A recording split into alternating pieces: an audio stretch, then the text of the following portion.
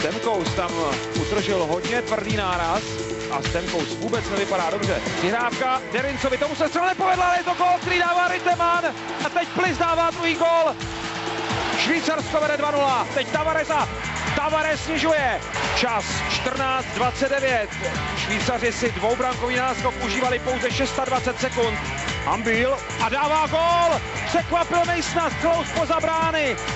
Branka ala Mario Lemieux. Derin. Jeho střela a gol. Švýcarsko vede 4-1. Bliss, Ritteman a Derin.